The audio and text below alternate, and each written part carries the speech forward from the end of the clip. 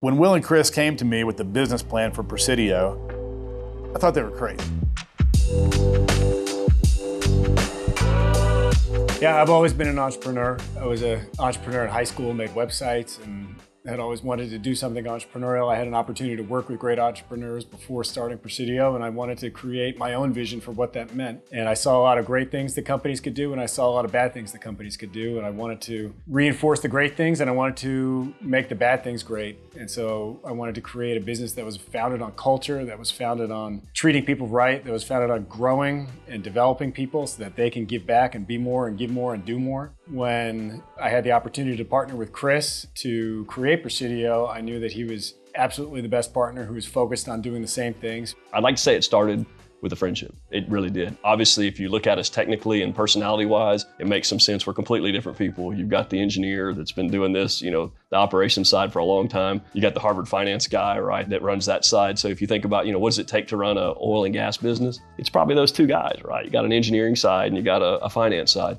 It's usually one or the other, not both, being co-CEOs. But this is the first time I've ever done a co-CEO. I can't imagine, and having the past of running companies on my own, being able to do it and do it successfully if that person's not your friend. If we're gonna start a business, then how about we don't do what everybody else is doing, and i.e. the run against the herd? What if we go the opposite direction? And I remember Will asking me, he's like, well, what does that mean? So if we're gonna do the opposite of that, what is the opposite of that? And I was like, I don't know, but buy a bunch of old crap? Presidio. My hope is that you could start blurring the lines between saying that, oh, they just produce oil and gas to saying, well, they're using technology to produce oil and gas. And they're using it to produce it way more efficiently than other people are. In our first 18 months in business, we weren't able to raise a single dollar. And we had a lot of terrible meetings with investors because people generally thought that what we were doing was stupid. They said, why would you be investing in assets that are trading for two to three times cash flow. There's a reason why they're trading for two to three times cash flow. It's because they're bad. Whereas we can go buy this growth stuff for 20 times cash flow, but boy, it's going to grow so much that it's going to pay for the fact that we have to pay so much for these assets. So, how many wells do you guys want to acquire? Yeah, so that's a that's a pretty good question. I think that probably the answer is all of them. But yeah, no, we have we have uh, visions of getting really big. I mean, 200,000 plus wells. You know, I think that our mentality is we are the last best steward for these wells. We operate them efficiently, we operate them safely, we improve the environmental profile of these assets from emission reductions. We can keep these wells online longer by lowering cost, driving value for not only our investors but for the mineral owners as well.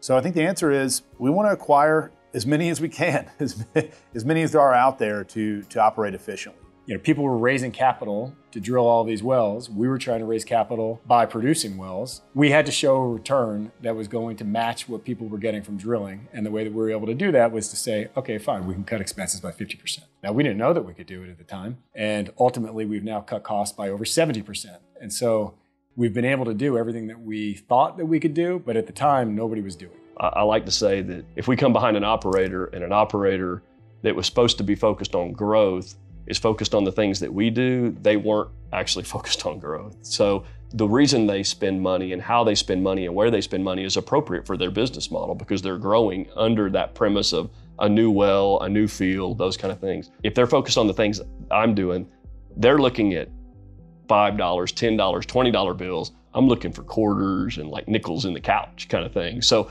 the amount of value I'm able to create on a unit basis is less than them because of the capital they're spending. But it's just as important to the business model as far as creating our, you know, our returns and things like that. But there were two offsetting targets that we were also going to buy. We were going to buy Apache's assets and we were going to buy a company called Templar. And we showed a map in our very first materials to Morgan Stanley's investment committee in March of 2018 that showed the overlay of what this combined business was going to look like and how we were going to have over 6,000 wells under management and we were going to operate things at at least 50% less than they were currently being operated.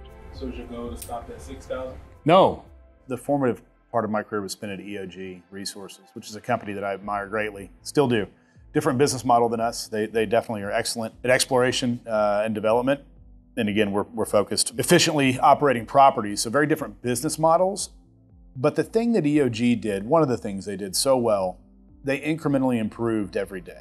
So they took whatever processes they were doing on day one, and they got a little better on day two, a little better on day three, a little better on day four. Every day they were committed to learning about what they did and improving upon it. And that sounds simple, sounds easy, but it doesn't happen at every company. And we do that here. We, we really get better at everything we do every day. That goes back to this concept of measuring what you do and tightening your feedback loop, using every tool at your disposal to do that. And so it wasn't readily apparent to me in the beginning that that was what was going to happen at Presidio. I knew that we had a contrarian philosophy, but really I think that you know some of the magic that happens here and the reason we've been successful is because we really do focus on improvement every day and and never be satisfied on, on with with where you are. And, and just those incremental improvements over the course of time add up to a really good company. When I think about why we're here today, it's because we were able to go from zero, a place where we were funding this business out of our checking accounts and paying payroll every two weeks and not really enjoying ourselves, to a position that we're in today where we're having a lot of fun and incredible amounts of, of uh, personal development and growth and ability to give back have evolved along the way. A lot of that has been about trying to find an opportunity to create momentum. And we looked at the various opportunities in the oil and gas space. We thought that this was an underinvested space. We thought it was a place where we could start putting money to work, where we could create momentum. And now that we have the momentum, we've been able to capitalize it on it, and we want to continue to capitalize it in much bigger ways. We want this company to be America's last best steward for oil and gas wells. We operate 3,000 wells today. We have desires to operate 300,000 wells, and our momentum is what allows us to do that. You walk around the halls here at Presidio and you see the way people are working and their understanding of what our mission is and what our culture is and how they are growing themselves and learning and doing more and being more and giving back in their own lives, I think is all a very virtuous circle, and that's what we're pushing for here.